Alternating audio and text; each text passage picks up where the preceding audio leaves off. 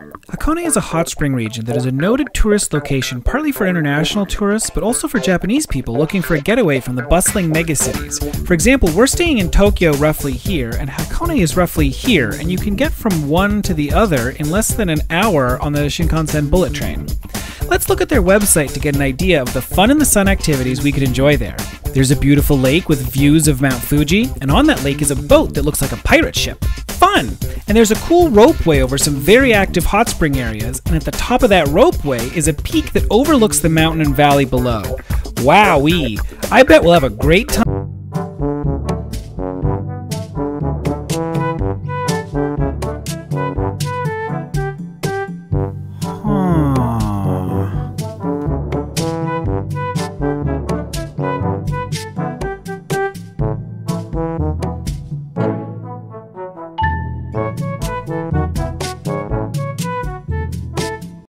But let us start at the start. And that is the Shinkansen bullet train from Shinagawa Station in Tokyo into a city called Odawara. It does this in about 25 minutes, which gives it an average speed around 200 kilometers per hour, but given that there's a stop in the middle, it's actually faster than that. I spoke with someone about whether or not it would feel fast to ride the Shinkansen, and the answer is yes. It might not come across in the video, but it feels fast.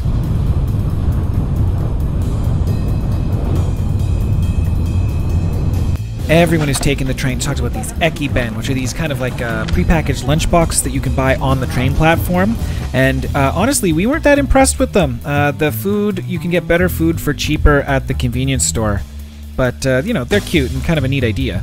Odawara seemed like a nice, small town, but honestly, we didn't spend any time there. We just got right on the bus to Hakone. Alright, let's talk transit. As you can see here, Hakone's transit system is set up to be kind of like a loop. So the plan was to leave Odawara on a bus down here to the boat terminal.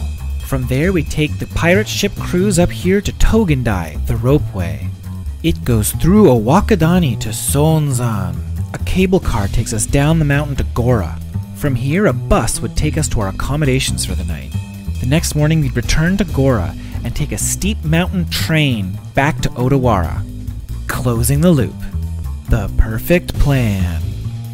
So anyway, the first step is the bus from Odawara down to the boat terminal. Looking pretty good, nice and foresty. Windy mountain road. Hmm, that seems kind of windy. And when we get down to the port, the boat is cancelled due to high wind. Let's pull up the map again. Turns out the ropeway also doesn't run in high wind, which means the map doesn't really look like this anymore, it looks more like this. And that's not really much of a loop, is it? Well, that's okay, because there was a shrine that we were planning on going to here, and there's a path all the way along the coastline, so maybe we just hike all that and we'd end up at Togendai anyway. To the shrine! Oh wait, there's a cute duck in the stormy waves. He does seem pretty cute. He's going for that garbage. He's like, that white bag. Sharon? Is that you, Sharon? Okay, now to the shrine. This shrine, like the other Shinto shrines, begins with washing your hands. From there, you go under this torii gate or through this torii gate, and then up the stairs here and past these huge trees uh, up to the actual shrine, which is up at the top of the hill. We've been to a bunch of these shrines by now, and they're all very similar, uh, but they're all still lovely. And in fact, I think what we've decided is that we actually prefer them in the kind of rainy, overcast days. They seem a little more magical. One of the things this shrine is known for, it has a torii gate down at the water out overlooking the lake. It's a very popular photo spot, and what? Is that the line for photos? Oh, screw that. We've got walking to do. There were two problems with this hike. The first is that sometimes it looks like this, which is lovely, and other times it looks a little bit more like this. And these bits along the road were most of the walk, actually. And the other problem was this full hike along the coast was like two hours long. So it wasn't like bad per se, but it was longer than we intended it to be, and this transit system shuts down at like 5 because it gets dark. But we eventually made it to Togendai, the ropeway, which was still cancelled by the way. The boat was now partially running, but only to one of the ports, and we didn't really have time at this point to go out and come back and still catch the bus up to our hotel for the night, so we just decided to do the boat tomorrow. Of course, the bus doesn't stop at the hotel, so we still had to walk up this hill, uh, which we were pretty familiar with by now. Okay, let's talk about the hotel. We were staying at a ryokan, which is a traditional Japanese inn, so it had the tatami mat floors and the futons and the low tables and the sliding shoji doors. They also typically serve a full course Japanese meal for dinner and breakfast, and they have a hot spring bath, one for ladies and one for gents, which you can't film in because everybody's naked. Our room was okay, but honestly, it was clear that this place was past its prime. It wasn't bad or dirty, but it clearly was dated and not getting better. Also, this place didn't do dinner anymore, and our breakfast was cancelled, so we had to venture out into the rain to get food. I didn't film this part because it was dark and rainy, but I wish I could have, so here's some stock footage of rain. On the map when we booked it, it looked like this place was in an area with a lot of restaurants, and so we figured we'd just walk around until we found something we liked.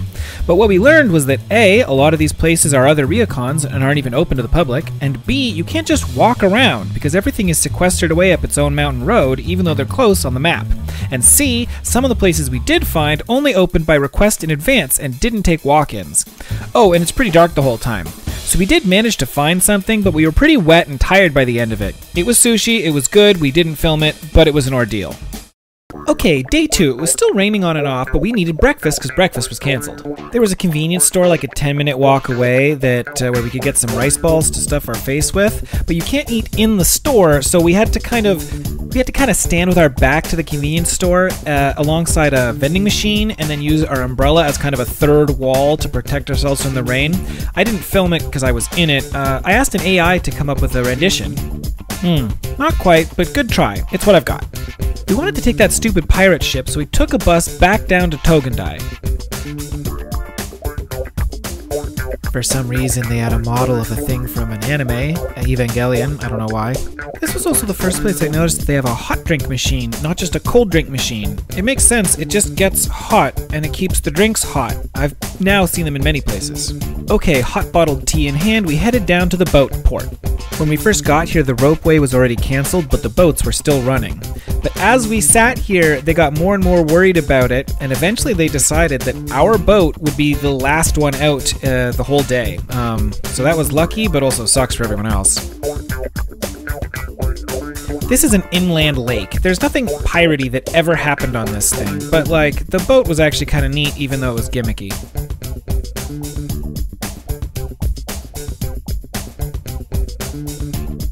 Once the boat's underway, you can go out on the top deck, which even though it was windy and rainy, we obviously did. It was great and no regrets there. Aye, she was a good ship and she got us through many a stiff breeze. Okay, so now it was lunchtime and oh, he's going a bit fast. Uh, anyway, now it was lunchtime and we wanted an udon noodle soup. The way this works is you look at the board there and then put the money into the vending machine and pick what you want from the vending machine. This will give you tickets with your number on it, and then you go sit down and get yourself some tea or whatever. And then he'll call your number, and then you go pick up the soup. Tasty soup and no human interaction. From there, we set out to another of Hakone's attractions. You see, Hakone is an important part in history. Back in the old days, there was a walking path that connected Kyoto, which was once the capital of Japan, with Edo, now called Tokyo, which was the new capital of Japan. And along that route were way stations and security checkpoints to make sure the emperor knew who was entering and leaving the capital. And Hakone was the last such checkpoint before Tokyo, or the first one leaving if you're going that way. Along that route were various tea houses and inns, and one of them is still around today. It's been open for around 400 years and has served the same thing the whole time.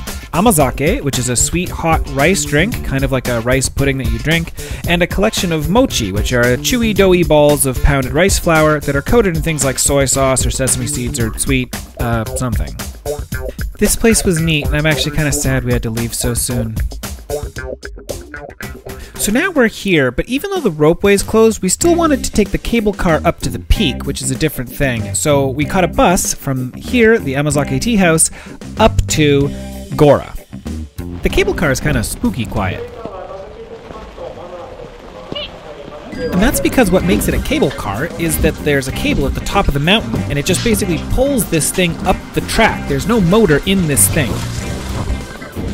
It's basically just a staircase with chairs that gets pulled up the side of a mountain.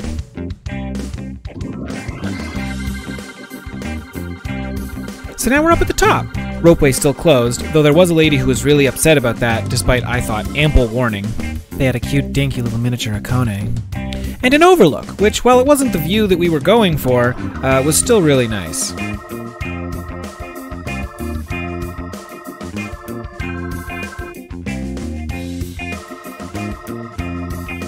This balcony also has a public hot spring foot bath, which was really nice.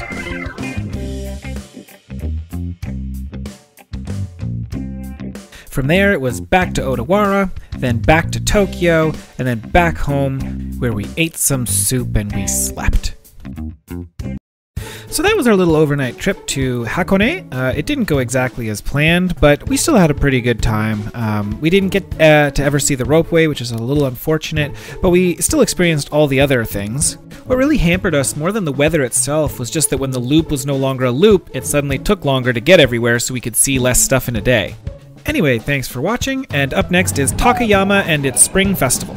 There are many cool things there, so, you know, keep your eye out.